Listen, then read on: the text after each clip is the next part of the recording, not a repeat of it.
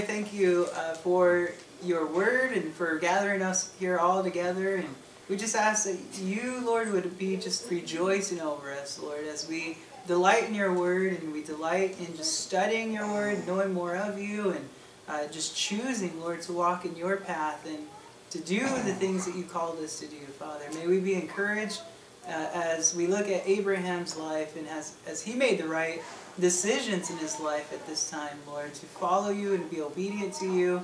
Uh, may just encourage our hearts, Lord, to uh, do what we're called to do in our own walks with you, Lord. And we ask this in Jesus' name. Amen. Amen. So, you guys, Genesis 22, right? A lot of us already know Genesis 22 when Abraham offers his son Isaac as a sacrifice, right, onto the Lord and as a burnt offering. And it's interesting because you guys remember last week we were talking about Genesis 21. God fulfilled his promise to Abraham in giving him the son of promise, Isaac, right? Mm. And, and, and how long did Abraham have to wait? 25 years. Yep, 25 years. Abraham had to wait for the son of promise. And finally, God gives him the son of promise. And then God says, okay, now give him back. And Abraham's like, right? But, but I love Abraham's attitude here because what is recorded to me sounds very accurate. And if that's the case, if the Bible's accurate and the Bible is showing his heart, showing his word and his conversation, then all we, we see here is just Abraham's obedience. So it's pretty awesome. Um, and you would think, by the way, at this point that Abraham, his life would just kind of settle down now, right? After 100 years old, right? After all this, like, torture, I guess you can say, right? Trials, tribulation coming his way, his ups and his downs, and finally, ah, the son of promise came, retirement's here, you know, like, I'm just going to chill out and watch my son, you know, and, and do what I can to make sure, you know, the attention's on him. And God says, no, the attention's on you still, instead, right? And it, it, it keeps getting tougher right now, but it, that's not the case. It's not getting easier. It's going to get the trials are still coming, right? Mm. And he's still having his walk with the Lord, even at an old age. So God's not done with Abraham yet. And, and God's going to, once again, work into Abraham's life, and it's going to be a very difficult time here. But this may be one of the most difficult tests, basically, for Abraham's life, right? Where he's going to have to offer his son, right? So, question for you guys is why would God send a test at in Abraham's old age. Why do you guys think he would send a test like this in his life? See if he's faithful still. Yeah. What else? It's we're we're being refined through our entire life. It's not until we're dead that that is done. yeah. So the tests are going to keep coming until you know until we put on that incorruptible That'd be nice though, God's all. Why don't you go to Hawaii for uh, the next uh, 50 years of your life and just, I'll keep you protected there. Sanctification, yeah. there's no like, well like the retirement plan for sanctification is, you know, being in heaven and glory. Yeah, glory. Yeah. What were you going to say? I was going to say to see if he believes the promise. That's ultimately what it is. Mm. And actually, if I can remember exactly where it's at, it says that those things were, were done for our benefit. Mm-hmm. Um, Romans 12. Romans, thank you. Yeah, that, that all of these things were done for our benefit, like as an example to us. Right. Yeah.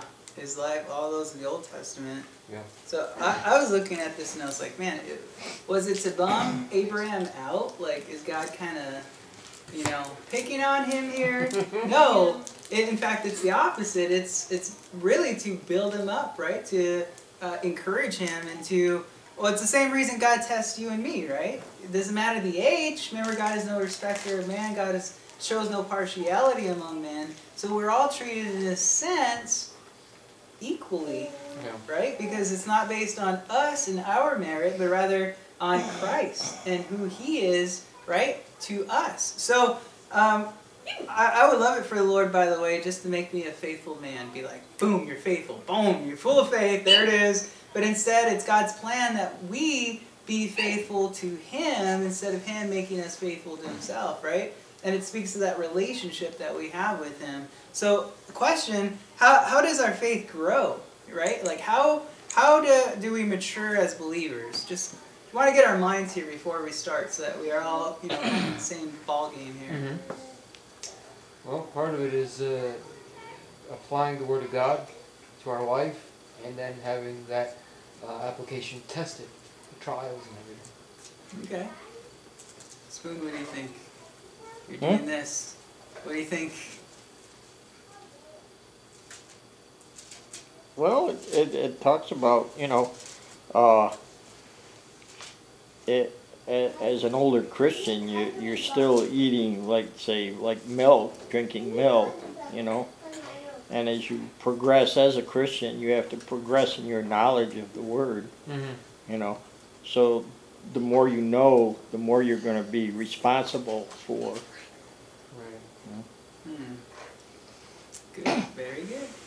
I, I, agree with both of you guys, and I yeah, it's through the tough times of our lives, right? Through the difficult times, through the testing, the refining, you know, in our lives, um, through those terrible times that come in our lives when we're just, you know, we're just like, man, you know, the the testings come on in our lives, but we got to realize that it's it's meant for it's meant for good, right? And it's part of God's plan of why these things are coming our way. Because it's not about, oh, it's because of my consequences, Lord. I messed up, isn't it? This is why these things are happening in my life.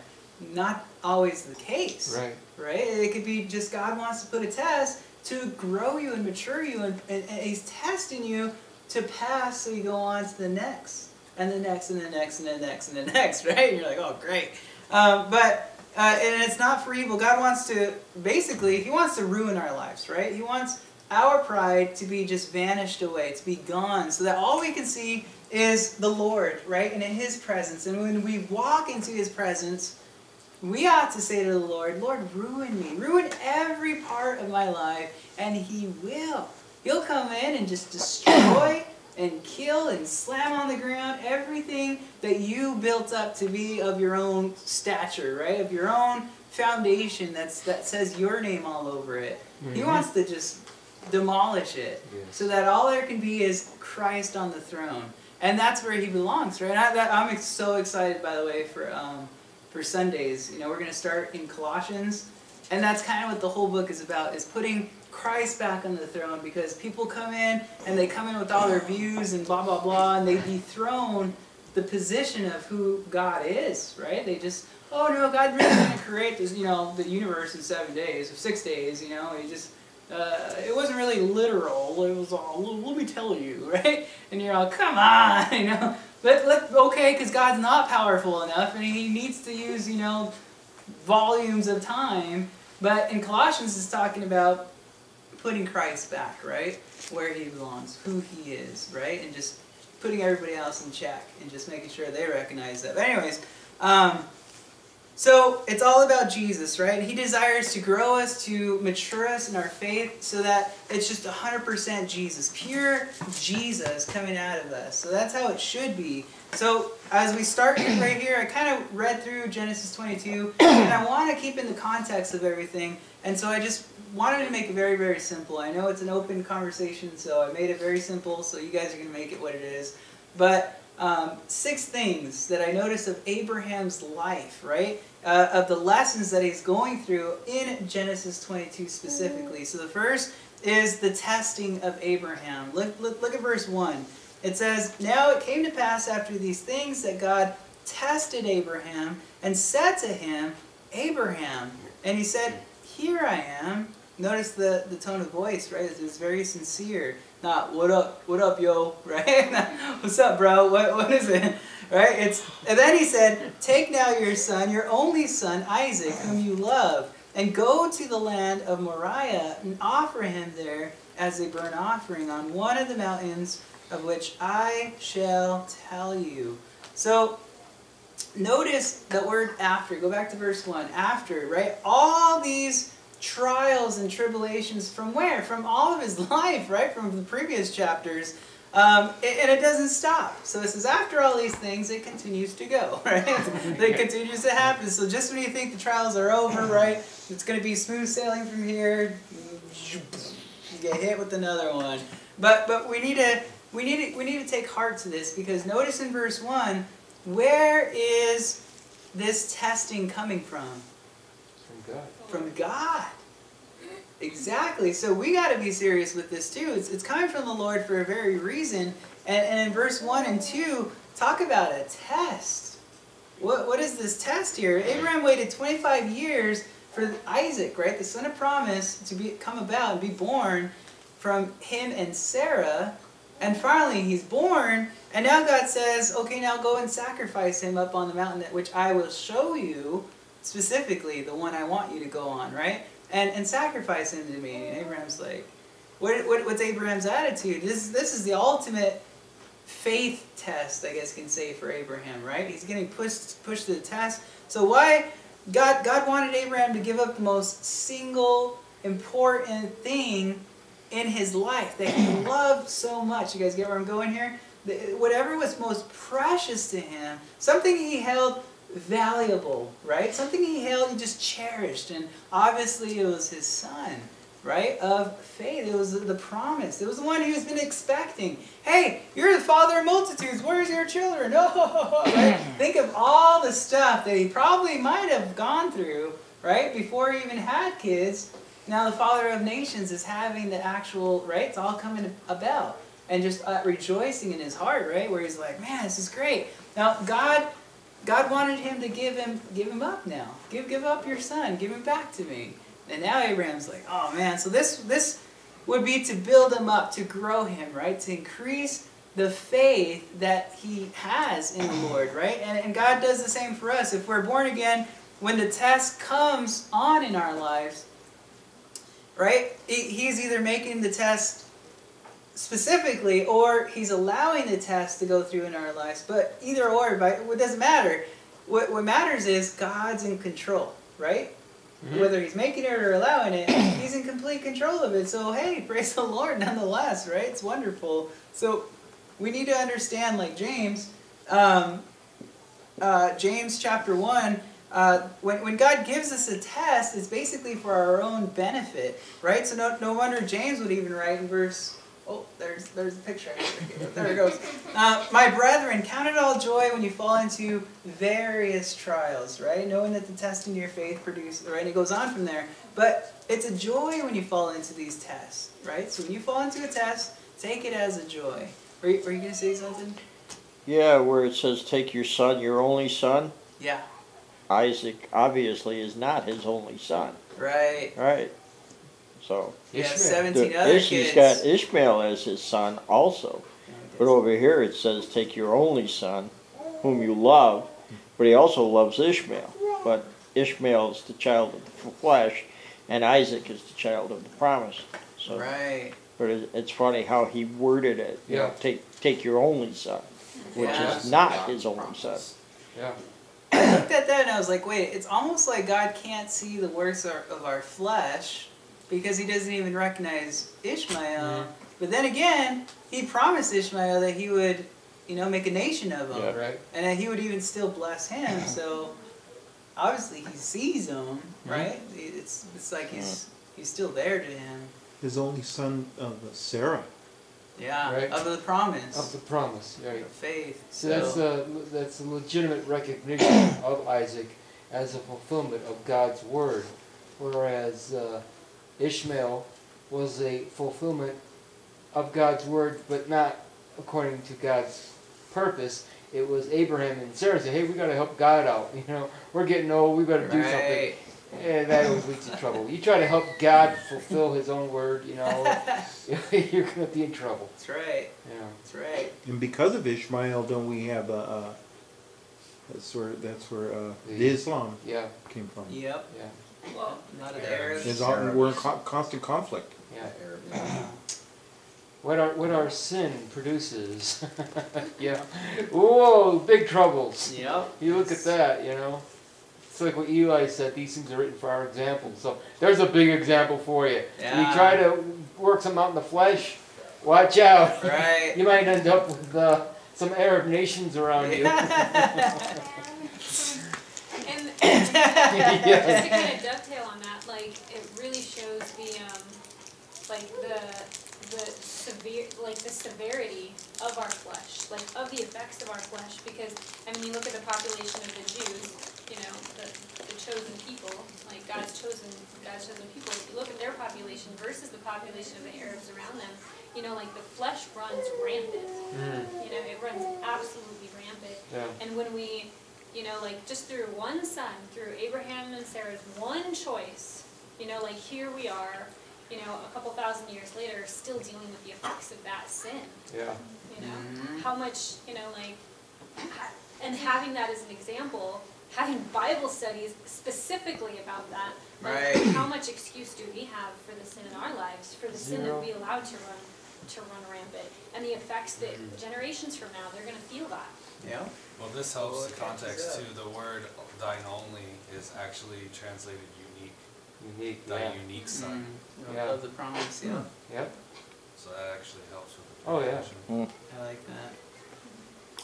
And, seen that I did read it today, Good job. the word your only son in the Hebrew is Yakid, which is the same word used for Jesus in the New Testament for my begotten son. It's the same word was just looking used there. that. Yeah.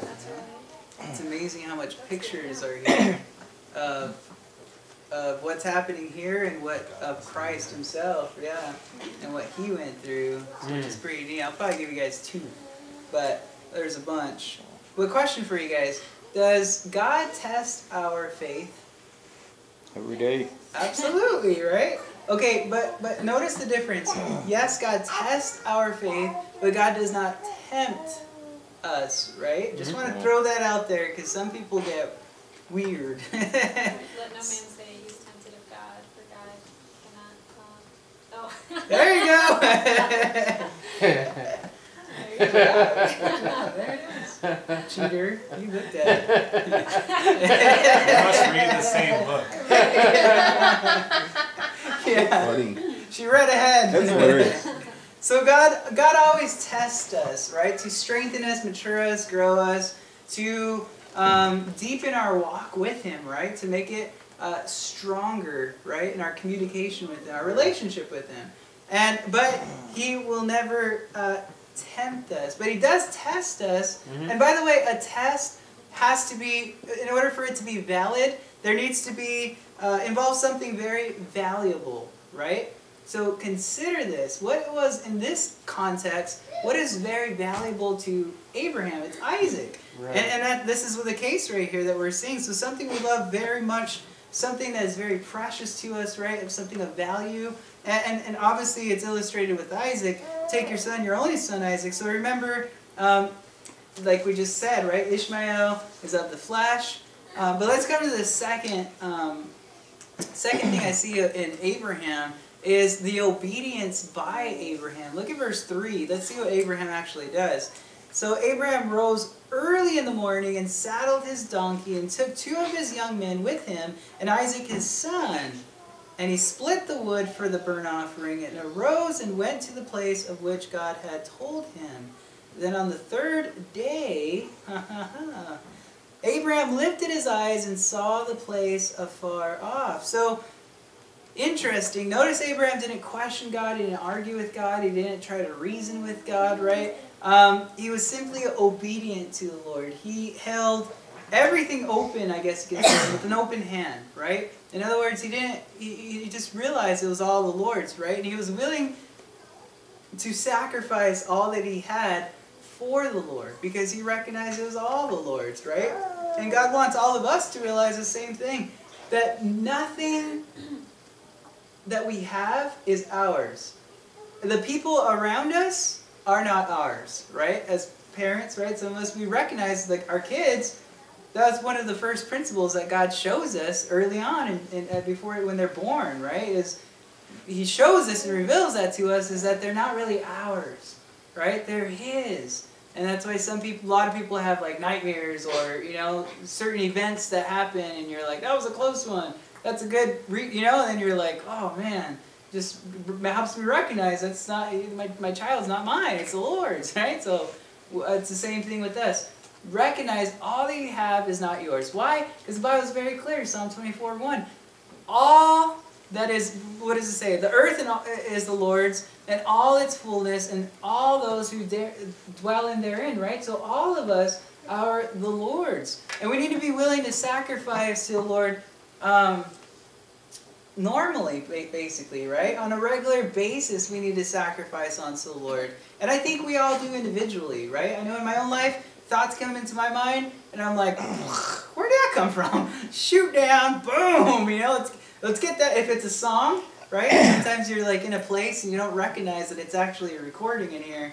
And then you're, you're in your car and all of a sudden you're just boom, it hits. And you're like, what? Why would that be in there? Yeah, And so, yeah. you know, you put on worship or whatever. But it could be words, it could be images, it could be all kinds of stuff, right? Mm-hmm. Scenarios. And, and I'm pretty sure we all do that. We all shoot it down. We, we stop it in its tracks. So all of us, that's it's a little little area of sacrifice. But others, you know, it's a daily sacrifice. We daily need to choose the Lord, eh, right? Romans 12 that you just mentioned earlier. Um, but uh, and by the way, I'm still teaching Amariah the same principle, right? When when she's with other little kids and they grab her stuff, she's all, "No, it's mine." Right? I'm all, "No, it's not yours." yes, it's yours, but it's not yours. Just share. it's hard, but she's learning the same thing, right? But we need that. We need somebody, you know, in our lives to say, "Hey, it's not yours. It's the Lord's." You know, and it's a good thing. It is a good, and at that time, it doesn't seem good, right? You're like, but it's mine. I paid for it. yeah, I earned it, Lord. but yeah, it's it's all the Lord. So notice, but notice the way. By the way, he rose early in the morning, so he didn't hesitate, right? He didn't, you know, I'm gonna take my time and let me let me call make some calls first, Lord. Let me let me first go up the mountain and you know go and no, none of that. It was let's you said it, let's do it, right? Let's go. First thing in the morning, boom, let's go. Maybe the Lord spoke to him at night, whatever the case, right? So the third thing, let's look at the faith of Abraham. Look at verse 5. And Abraham said to his young men, Stay here with the, the, the donkey. The lad and I will go yonder and worship, and we will come back to you. Hmm. so Abraham took the wood of the burnt offering, and he laid it on Isaac his son. And he took the fire in his hand and a knife, and the two of them went together. But Isaac spoke to Abraham his father and said, My father. And, and he said, Here I am, my son. Then he said, Look, the, the fire and the wood, but where's the lamb for a burnt offering? And Abraham said, My son, God will provide for himself the lamb for a burnt offering. So the two of them went together. Then they came to the place of which God had told him, and Abraham built an altar there and placed the wood in order, and he bound his son Isaac and laid him on the altar upon the wood. And Abraham stretched out his hand and took the knife to slay his son, right? But the angel of the Lord called to him from heaven and said, Abraham, Abraham. So he said, Here I am. And he said, Do not lay your hand on the lad or do anything to him, for now I know that you fear God, since you have not withheld your son, your only son, from me. So, from verse 5, going back to verse 5, you can see his faith in what he says. Notice Abraham's faith in what he actually says. It says, We will come back to you, right? That is awesome. So, it, it, it, by the way, it's in its plural form, right? We, we, will, we will come back. Turn with me, if you guys got a Bible, Hebrews 11. Hebrews chapter 11. So it's the hall of faith, right, of the past Old Testament. Um, people who put their faith in the Lord and trust in the Lord, right? And they were faithful to the Lord. And the writer of Hebrews, uh, whoever the writer is here, he gives us some commentary to this exact passage right here, which is pretty cool about this event, uh, dealing with the faith of Abraham that we're talking about. So Hebrews chapter 11, um, and question for you guys: Did did Abraham go up to the mountain intending to kill Isaac? Sure, seems like it. Yeah. I mean, took the Took a knife and out. Knife and yeah, brought rope to bind him. Yep. Even the coffee pot agrees.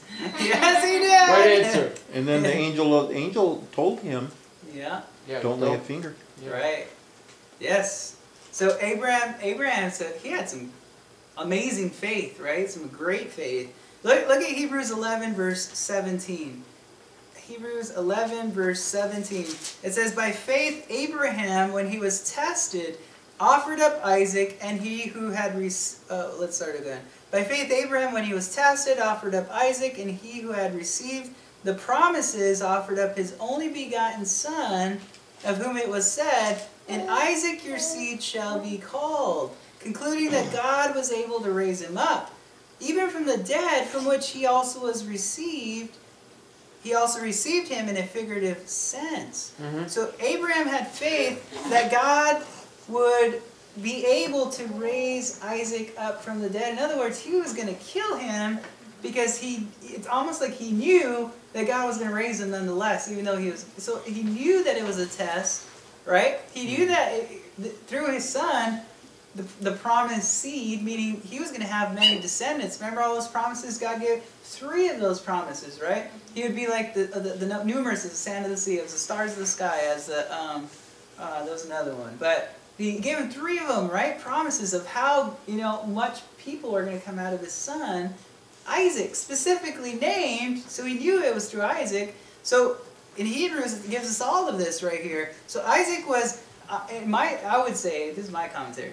Isaac was dead to Abraham in a sense uh, on their journey because it took three days. And, and for Abraham, knowing from when God told him, it was already it was a done deal. Mhm. He just needed the spot, and it, that was that to me is amazing amount of faith, right? Your own child. That was the most precious thing you can imagine that Abraham even had, right?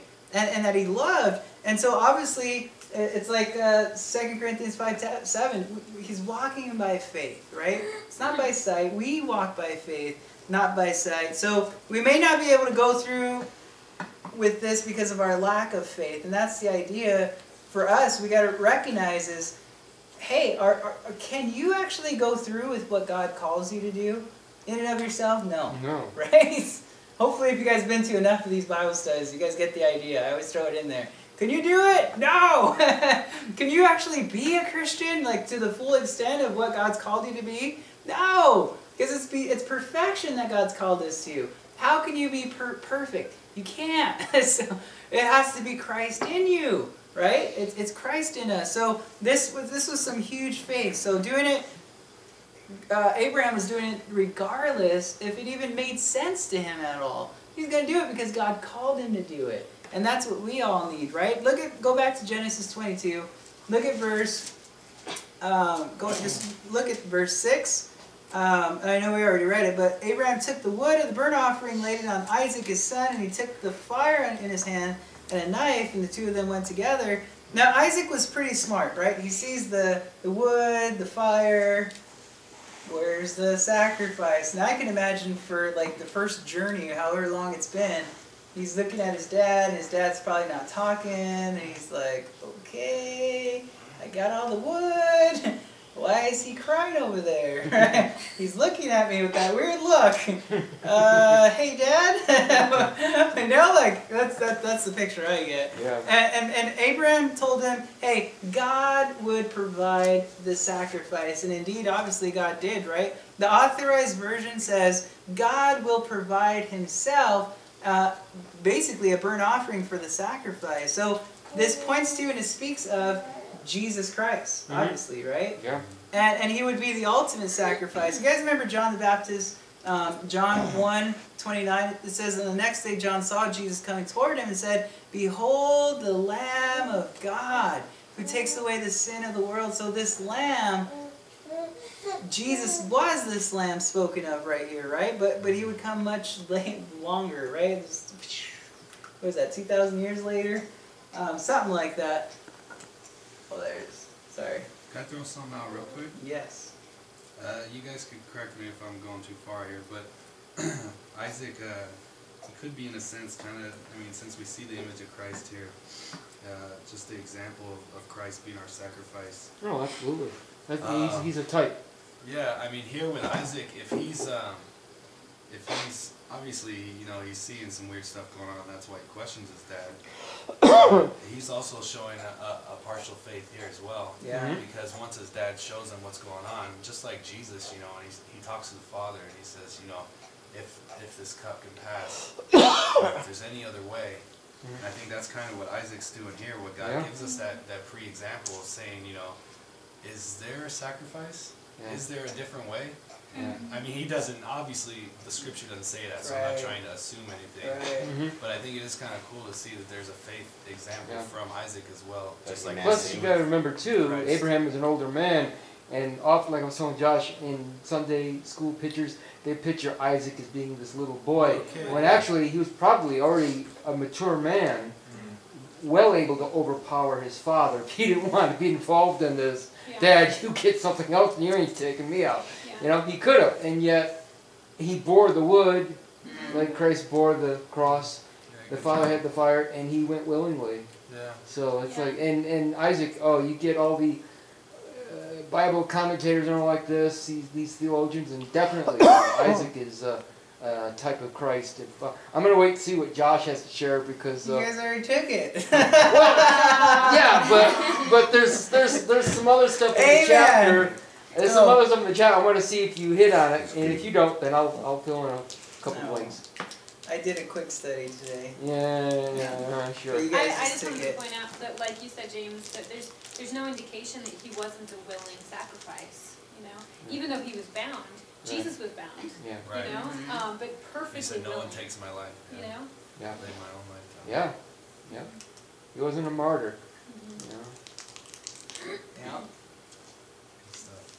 So So, look at verse nine. It says, then, then they came to the place of which God had told him, and Abraham built an altar there, placed the wood in order. He bound Isaac, Isaac his son, laid him on the altar upon the wood, and Abraham stretched out his hand, took the knife to slay his son.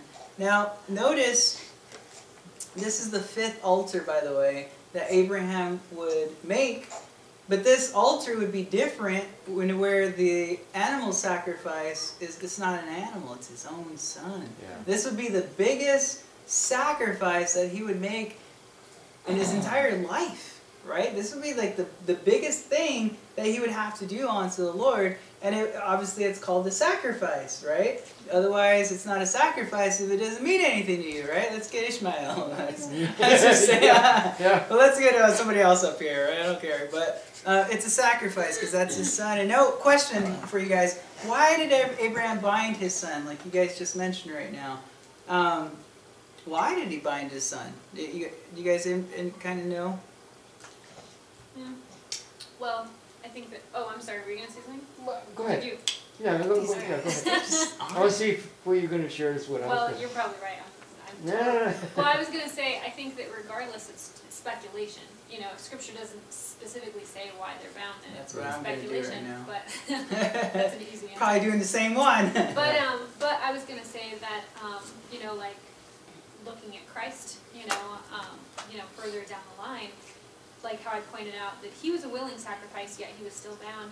And I think that, you know, him being him being a willing sacrifice and being willing for for him physically to be bound was just was just um, like an ex- um, example's not the right word that I'm looking for, but it was it's a picture to the world that hey, I'm letting them take my body. Mhm. Yeah. I'm letting them put Yeah. me to death. That it wasn't something like quick Jesus walk and then all of a sudden you know gets you know Right. exactly he doesn't get stabbed you know he doesn't because then any anybody could claim anything. Right. But but willingly allowing their bodies to be bound, you know, I think that's an example of their of their obedience. Yeah. Mhm. Yes. Um, I'm not sure. Um, I don't have time to look for it right now. There's a, a psalm, and the admonition in the psalm is to bind the sacrifice with cords. And it's kind of a pun. It's kind of a play on words because literally, physically, you are binding the sacrifice with these cords. But uh, also, the idea of a covenant is to bind, to bring together uh, as one. And so you're binding the sacrifice to the altar, and so you're covenanting by doing that. So I think here with Isaac, when when he's binding his son, that is also uh, emblematic of the covenant that God is portraying here by type.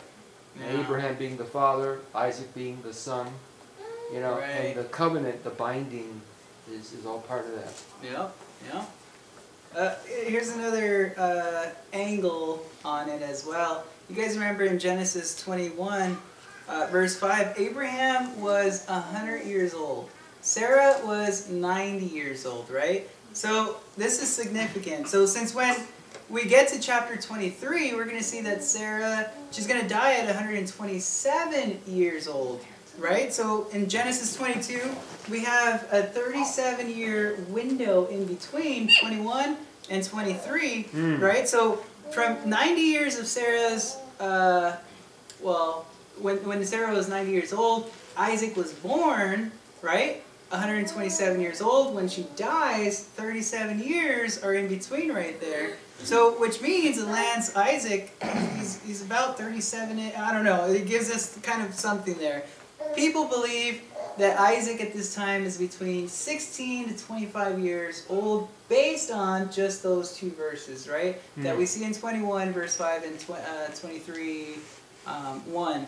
And and so he's he's not a little boy here, like you mentioned earlier, right? And and this is this is where I was get, gathering, where I'm like, wait a minute, because I've always, you know, my little Bible children's book, you know, like he's a little boy, you know, like, oh, what are you doing? Like nine. Yeah, liars. But but here he's he's like okay. So I, here's the idea. He, in fact, in verse six, just like James mentioned earlier, he Abraham didn't carry the wood. Abraham put the wood on his son's back, which means this guy was pretty built, right? He's he's uh, a boy.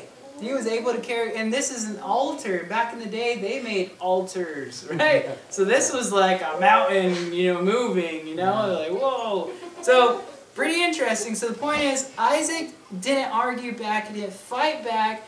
Instead, he was obedient to his father's will, whatever his father had required of him and asked of him. Kind of like Kyle mentioned earlier. And if I was Isaac, I would have fought back. I would have argued back. I would have been, well, uh, Dad, what do you think you're doing? Right? Like, um, I probably would have punched Abraham. Know. Right? Like, hey, get away! You're you're old. This is what happens to people, you know. But instead, Isaac says nothing.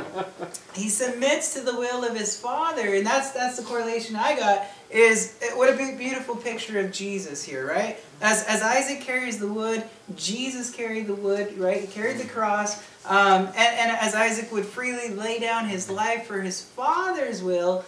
Jesus even said, in fact, in Luke 22 42, saying uh, at, at the end right here, um, Nevertheless, not my will, but yours be done. Right? John 6 38, uh, Jesus said, For I have come down from heaven not to do my own will, but the will of him who sent me. You're one ahead. You're. Oh, come on. Oh, there it is. Okay, Jesus said to them, My food is to do the will of him who sent me and to finish his work. So we're to submit to our Father's will, right? We all know this. When, when God tests us, it's, it, he wants to take something valuable from us, something precious, something we love the most, right? And it's not to break us, but yes, it is to break us. it's, not, it's not purposely like intended to make us angry and sin, but rather to break us and shatter us of ourselves. That, that we would be more of Christ instead of ourselves. So, question for you guys: Are you, are you willing to submit to Him or not? You know, very simple hmm. question, but something to consider in your own heart. Do we truly realize that it's all His? Remember Psalm 24 1? It, it's all the Lord's, right? And, and Job, you guys remember, he had it all. Job had it all, man. He's got, but it, it all just falls upon his own wife, right? Curse God and die, Job, right? So, thanks. You know, all my support. She was a Barnabas. Yeah, yeah, yeah. Man. But instead he realized, and he even said, um, the Lord, the Lord gives and the Lord takes away. Blessed be the name of the Lord. Remember that? He recognized, hey, it's all the Lord's. I, I don't, he had boils on his own body. I'm I'm not my own. Polly would even mention that, right? We're not our own. Our bodies are the Lord's. So um, I just thought it was very interesting little correlation there. It's like one little thing. You guys named like a whole bunch, but there is a lot of pictures. But there's it's just it's interesting to see that uh, obedience of Isaac, right, laying down his life um, for his father, and look back at the old days and how it was. That's just the way it was, right? They whatever the father required of them. And I find that amazing because today we don't see that at all. Right? No. Let's talk about obedience, raising up your child in the way they should go. Right there, it is. Um, do you guys want to mention anything else there? Well, we didn't touch it either, and it's not something extremely big to, to get behind, but in, in verse five, it mentions worship, and I think this is the first Mm. time in scripture actual worship being mentioned. And so it's just kind of confirmation that they were both Mm. going up there to worship the Lord, and it's Mm. just more evidence of submission, you know, Yeah. of Isaac going along with to worship the Lord, Mhm. Right. just like we see Christ going, Yeah. And then wor- full submission to the Father yeah. and then worship being coupled with the sacrifice of with the praise. sacrifice. Yeah. The sacrifice of praise goes with worship, and we have an actual sacrifice here too. So Yeah. And they're on Mount Moriah, Golgotha, Calvary, right? yeah, Right. Which is interesting, where Yeah. Christ would offer himself up and talking about all the pictures, man. It just keeps coming. I right? think Uh, this is the first. Oh, go um, ahead. I was just gonna say, I think this is the first mention of a lamb also. Is it? I think it is. mm. Probably. Well, what is, uh, what is Abel's like? His Oh. No, no, no. Oh, doesn't sorry. slay Cain. I always say it back. No, what did Abel give to the Lord as a sacrifice? a kid. I think it says a kid. A kid is a lamb, right? Go. It could- It's a goat. Yeah, it could be a goat or uh, a goat or a or a sheep. I think. Okay. Yeah. Look at verse um, 11. I know we, we read this. Yeah, yeah. We both got that later too. I was like, wait, wait. Uh, verse 11. So it says, But the angel of the Lord called to him from heaven and said, Abraham, Abraham. So he said, Here I am. And he said, Do not lay your hand on the lad or do anything to him, for now I know that you fear God. Notice the fear of Hmm. God Yeah, was within. Abraham's heart, since you have not withheld your son, your only son, from me. And so, question for you guys: Did God want Abraham to sacrifice Isaac? Yes, right? Obviously. Did God know Abraham would sacrifice him? Yes. Yes, he did know. So remember, this test was not for God, but it was for Abraham. If you get your perspectives wrong, you get your doctrine wrong, you get your theology wrong, you, get, you mess up everything. So I want you guys to put the perspective back. It's not for God, it's for Abraham. Because remember, God's Right. growing him and maturing him in his faith, and it's a test that God's giving him. So to test, really, to, to show him, you know, where his faith really was. So turn with me to James chapter 2 really quick. Take you guys on a quick little route. Um, James chapter 2. Here in James, we get a little commentary on this, this issue here. And a lot of people, they have a problem with this text, right? This is one of those controversial, and maybe some of you guys are probably going to throw your Bibles at me. That's okay. Um, James chapter 2, look at verse 21. It says, Was not Abraham our father justified by works when he offered Isaac his son on the altar? Do you see that faith was working together with his works? And by works faith was made perfect? And the scripture was fulfilled which says, Abraham believed God, and it was accounted to him for righteousness, and he was called the friend of God. So you see then that a man is justified by works and not by faith only. So a lot of people have a problem with this portion of scripture. They say, Aha, there it is. Hey, justification is not by faith alone in Christ alone, right? By by uh eh, right by grace alone. They they say, "Oh, it involves works." So to some degree, I would say yes, right? To some degree, but when you get the context of what James is actually saying here, right? The, the point that James is making is very, very simple in the illustration of Abraham altogether. And, and, and the question is to you guys, did Abraham have faith? Yes, Abraham did have faith. And how do we know that Abraham had saving faith? How do we even know this? It was demonstrated by his works, right? So by his willingness to sacrifice his own son, that was the works that he was doing, right? Whom he loved. So how do we know that uh, we have saving faith? How do we even know this? It's the same concept, right? Our good works, they're going to manifest themselves by our faith. If our faith is true, then our works are going to manifest themselves and they're going to come out of our lives, right? So good works and deeds don't save us. If they did, then we're in trouble, right?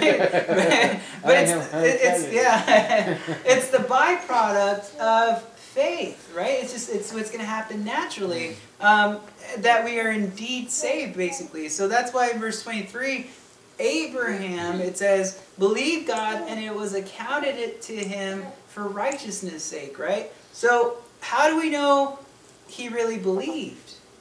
It, it was by his works, right? And that's the point that James is making right here. That's the context of the whole thing. So, Abraham passed this test of his faith, I guess you can say, for the Lord by his works. So, and by the way, remember uh, back in Genesis 22, verses 11 and 12, God intervened, right? While the angel of the Lord came in, intervened because God already knew what he was going to do. God knew, hey, he was going to do it. God stopped him. Did he have to do it? No, because God already saw his heart. And that's what God is after. So, question: Yeah. God, did Abraham have to kill Isaac? No. I would say no. So he just needed to be willing to do it. Because remember, it's the matter of the heart that matters, right? That's Right. there it is. It is. The So- command was for him to offer him as a sacrifice, not to sacrifice him. Right. I didn't even catch that. there it is. One of the things that it mentions, I mean, continue on from Hebrews eleven seventeen, uh, going into eighteen, it was he to whom it was said, and Isaac your descendant shall be called. Verse nineteen, he considered that God is able to raise people even from the dead, from which he also received them back as a type.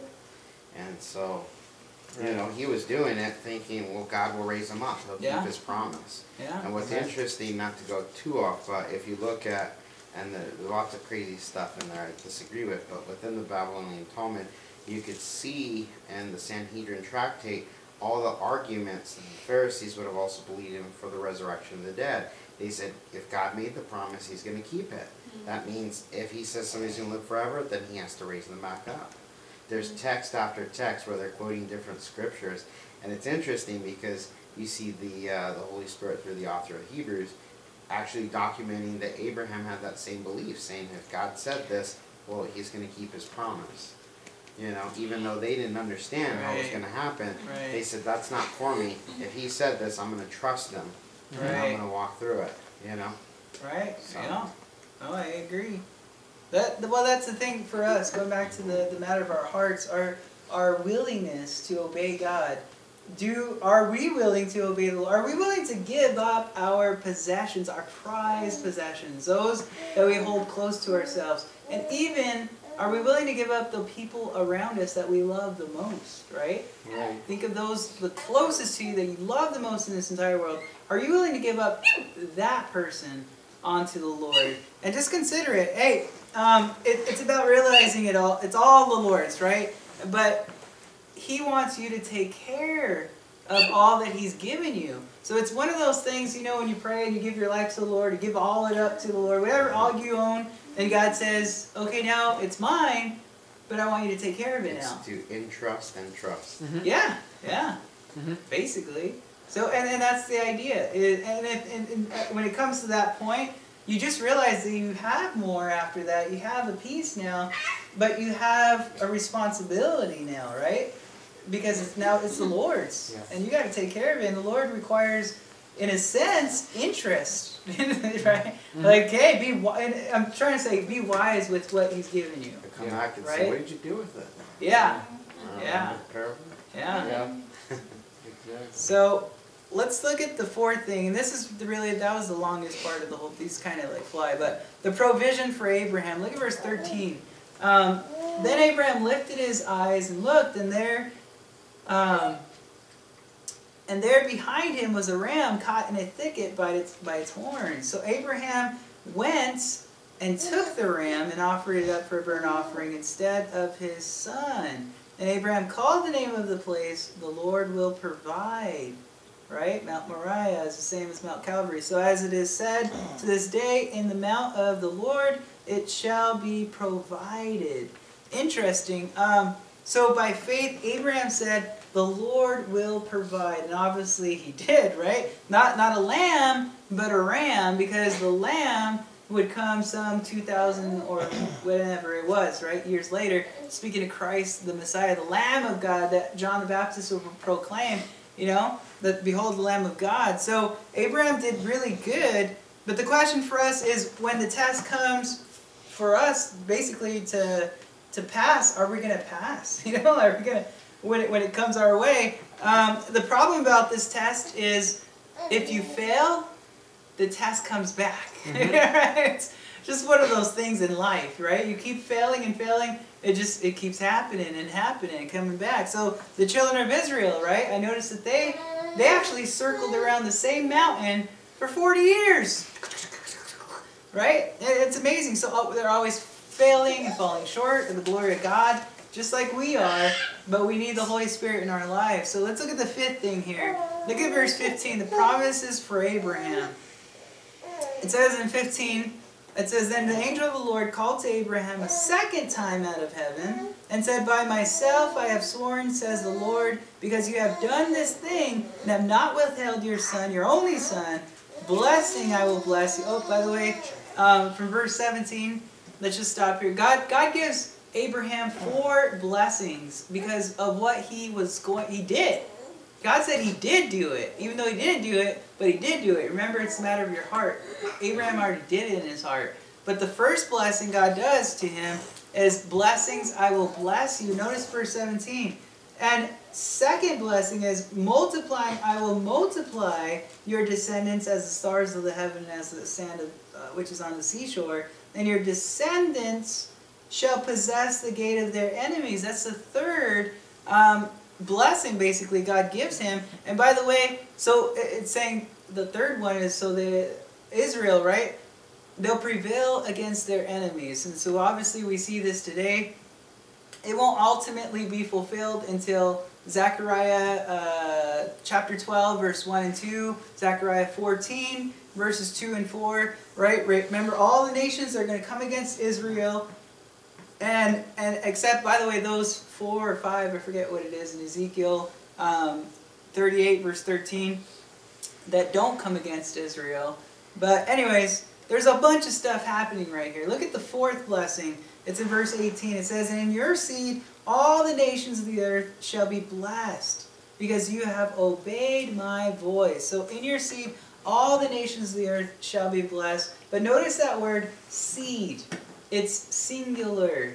It's speaking of one descendant, one seed, right? Mm-hmm. And, and, and, and it's talking about, well, obviously Jesus. In fact, Paul later gives us a commentary, Galatians 3.16, Now to Abraham and his seed were the promise is made. He does not say, and to seeds as of many, but as of one, and to your seed, who is Christ. The seed would obviously be speaking of the Messiah, Christ Jesus, right? So notice why why these promises? Why would Jesus, why would God give these promises to Abraham?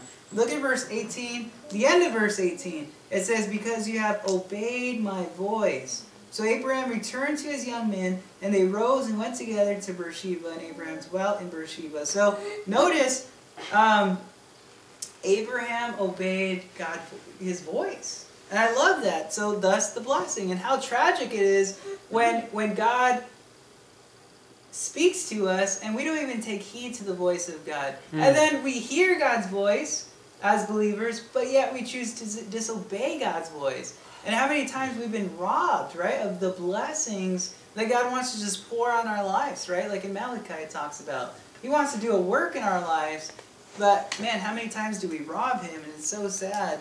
Um, and it's because of our, uh, because we love our possessions or our people above Christ Jesus. And that's the sad part, right? We're not willing to give them up, whatever it is in our lives. And that's, it's wrong, it's messed up.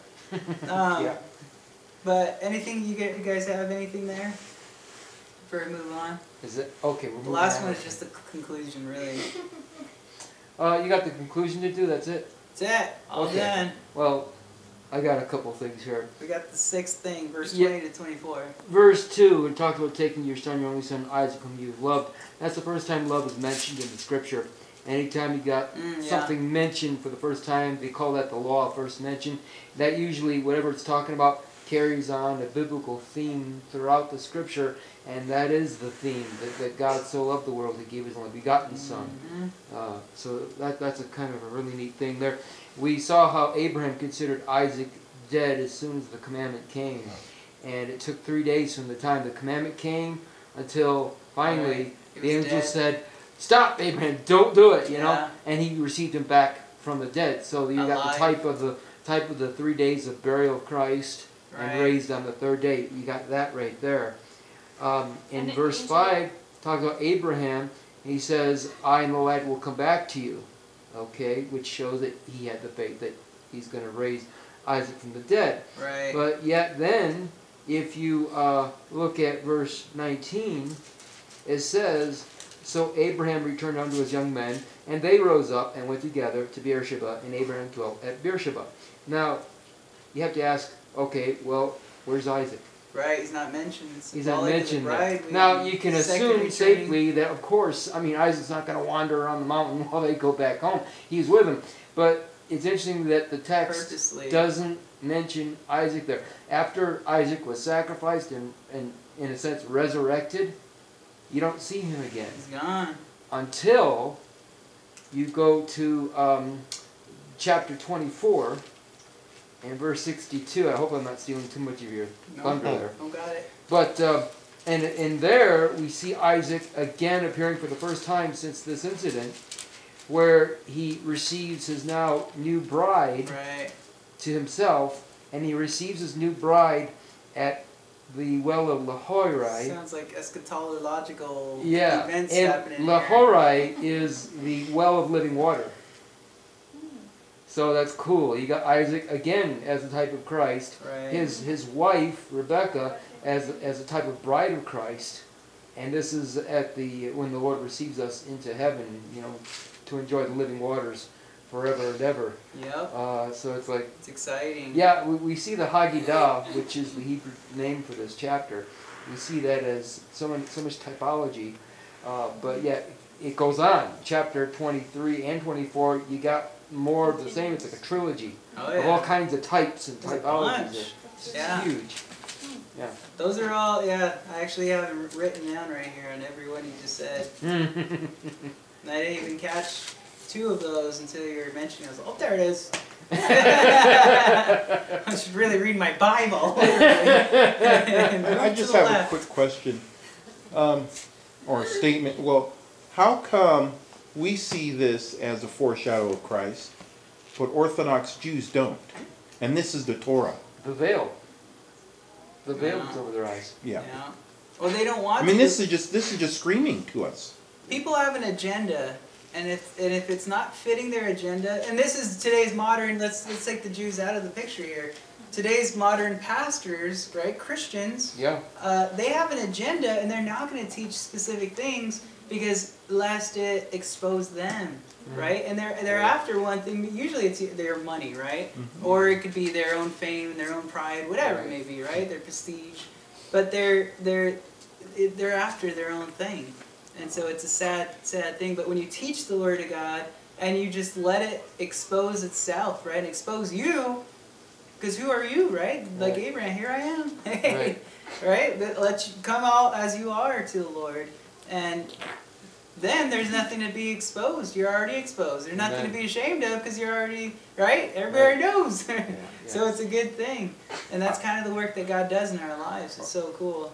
Part, part of the reason why they don't see it is because they're not necessarily in the Tanakh, the Old Testament. Then instead they're reading what the rabbi said. Right. Some Yeah. later on rabbis, it's all filtered through different things.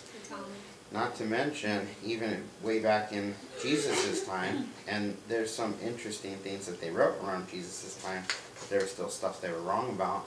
And um, John chapter 5, when Jesus is talking to them, I mean, he basically lays out the whole game plan, if you will, eschatologically. It's right there. Nobody could say Jesus didn't explain it to them. He did. They didn't want to listen. And he actually tells them that it, they'll be accountable for Moses because it's Moses they don't believe. So they don't even believe their own Torah. That's, And that's the Right. problem. That is. he says your, your father's the devil, right? Yeah. Well, yeah, that's a different passage, but this one, um, okay, I mean,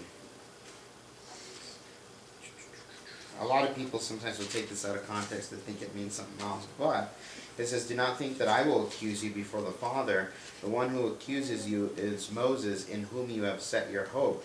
For if you believed Moses, You you, would would believe believe me, for he wrote of me. But, but if you do not believe his writings, how will you believe my words?" Right. So And it's that's That's at the heart of it. I forget Luke. I'm so bad at remembering where scriptures are, but I think The it's in alphabet soup problem. That's exactly what it is. It's so funny that you never forget that. Um, but um, but Jesus addressed it also whenever he um, talked about the rich man and Lazarus. You know, and he said, you know, they don't believe the prophets, you know, and the law, so they're not going to believe when somebody rises from the dead. Right. And you know what's interesting though is the, uh, not the crazy messianics, but the actual messianics Thank you. who come to the Lord, they say they just started reading, to reading their Old Testament. Yeah. And then it made sense, you know, Mhm. certain things, because they're saying, oh, well, wait a minute. Yeah. What if I just look at this not like, Like not like objectively. they told? You're right. You Read know? it for what it says, Yeah. rather than rather than read into it what the rabbis That would was- say. yeah. Yeah. One other thing I, I, I forgot to mention too. When verse 14 it talks about Abraham uh, called the name of that place Jehovah Jireh, which is in the mount of the Lord it shall be seen. It says in the old now it can be seen or provided because if you're seeing it, it's there, it's provided. But it's interesting though, if it was if Abraham saw something, it could be that God gave him a vision of Calvary, because in John eight fifty six, it says that Abraham saw my day, and mm-hmm. rejoiced to see it. That's right. And and the Pharisees are like, well, you're not even fifty years old, and you've seen Abraham, and Yeah. that's when he goes, well, before Abraham was, I am. You know? Right. And so it's like, hmm, Yeah. maybe that when Jesus was saying he, he saw my day, maybe that's part of what he's referring It's to in possible. Jehovah Jireh. In the Mount of the Lord it shall be seen. And he, he maybe he realized this I'm doing a kind of reenactment in advance. Right. you know, before the actual event, I'm kind of it's a model. Just like I'm doing this, you know. Dress rehearsal. Yeah, yeah. yeah. I like that. Like dress rehearsal, yeah. Excellent. Oh, I love that too, because Jehovah Jireh, the Lord, will, well, it says the Lord will provide here, but God is our provider, and that goes back to the I am, right, of God in Exodus 3.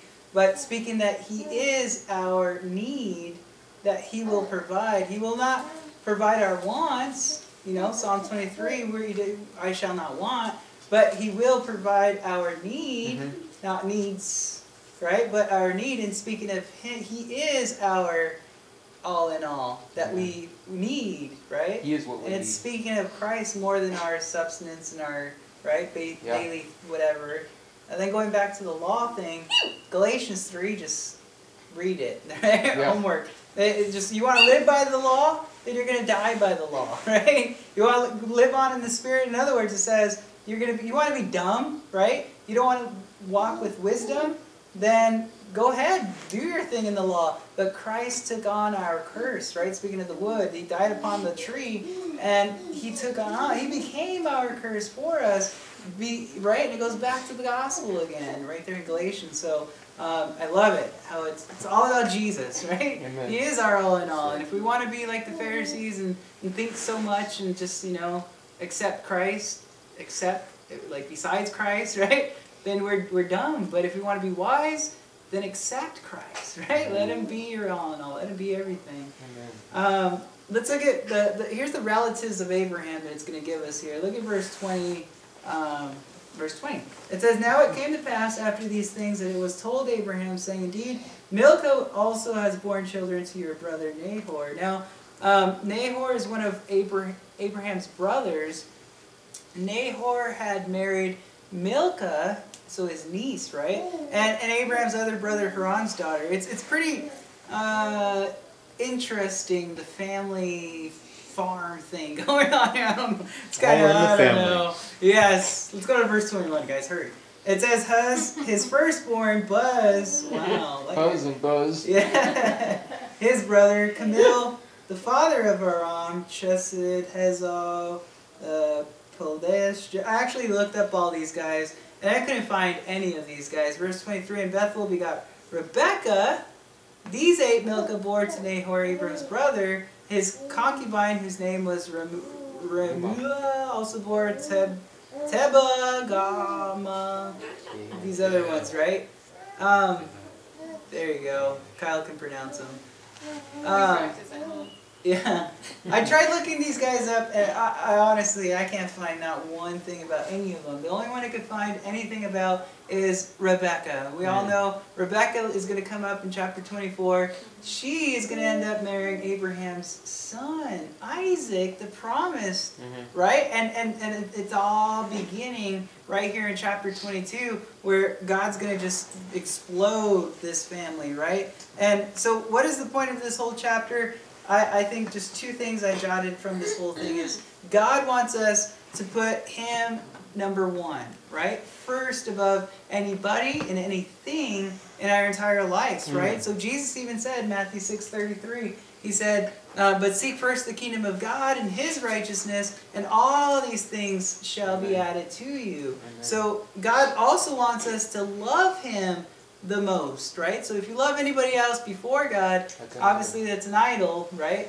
Um, America's got right, Yeah. but don't put those idols before God. Don't put anything before God, but put God before everybody and everything, right? Deuteronomy six. Uh, it's very we know this, right? Love the Lord your God with all your heart, right? With all your soul, with all your strength. Just love the Lord is stressed right here in every example it could be, right? To love Him supremely, love Him the most. And when we hold everything and everyone with a heart of just realizing that they're not ours, right? That they're the Lord's, then we're going to realize, hey, we're, we're going to have that peace in our lives where we're just like, God, they're yours. right? And, it- and it seems like you don't need to go through that test now, right? You, you Mm. just you just went Mm. right. You just forty years around the mountain. I don't think so, right? Like, I'm past this one. Right? I'm going right ahead, right? Coming on promised land. So just stay faithful to the Lord. Look to His promises. Let Him bring those tests on in your life, and He does, right? The Lord's been bringing little tests to me, and, and I would say it's trials, right? Little ones. But to me, I'm all, "Ah!" and then it takes me like five minutes to finally like click in and be like, trust the Lord, dude. Come on, right? And finally, I'm like, all right, yeah, you're right. We gotta pray. who, who, am I thinking, right? Of like, I could figure this out. Just pray. Yeah. And, and it's always like after you're done praying, it's like you don't even have to literally. You don't even have to think about it anymore. Yep. You gave it away. Yeah. So why would you rob God and take it back? Yeah. Let Don't go. Play, don't play ping pong. Yeah, God. hey God, I'm just joking, JK. But uh, So you didn't uh, Nahor's eldest sons. You didn't find anything about those two? uh-uh. Because I, I, I found a little tidbit that uh, Huz and Buzz they opened up the first barber shop. oh, Oh, oh man. Never end. You're leaving early, dude. Do you know that by experience? oh, Good. Yeah, came back. I just want to say as a point of clarity that um, with the inner intermarryings, you know, within Mm. cousins, etc., you know, like that was the way that God chose to use, like, to establish the the Jews as a people group. And it wasn't until generations later that he made the law that says, hey, okay, there's plenty of you now. Yeah. No more need to marry your your near kin. Right. Right. So Right. It wasn't something that's still permissible. And Right. Yeah. Yeah, a lot of people make Hey, the issue, uh, the non-believers. Well, oh, you got incest in the Bible. Well, that was before Moses. Yeah. The genetic pool for the people of Israel needed to be established, and so the Right. what we call inbreeding at that time, the genetic pool being much newer. Yeah. You know, you know.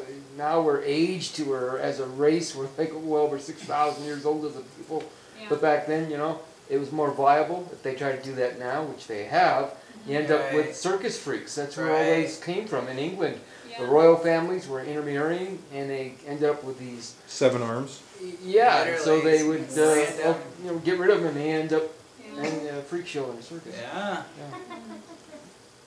Well, let's pray. Yeah. Father, thank you so much, Lord, for uh, just showing us. There's so much here, Lord, and I can see all the excitement in all of us, Lord, Mm. about your word and how amazing you are and how you've just uh, put everything so unique, Lord, within your word that we can find these treasures, Lord, and just be blessed by Yes. them. We pray, Lord, that we would continue to depend on you and just bring our, our everything to you, our cares, Lord, just realizing that you care for us and that you uh, are our creator. You have marked out our path, Lord. May we continue to allow your word to light it up, Lord, and Yes, just Lord. reveal to us those things daily that we can give up the things that we're holding onto and live that sacrificial life that you called us to live, Lord, and be willing, Lord, to just lay down our lives for our brethren, Lord, for those around us, and uh, help us, Lord, to, to literally um, pour ourselves out, Father, and allow us, Lord, just to just allow you to do a work in our hearts, Lord. May we not put any kind of uh, restrictions or um, anything on you, Lord. Do all that you want to do in our hearts, Lord, whether a limited amount or a whole bunch of it. Um, do whatever you will, Father, in our hearts, we ask. In Jesus' name, amen. Amen. Amen.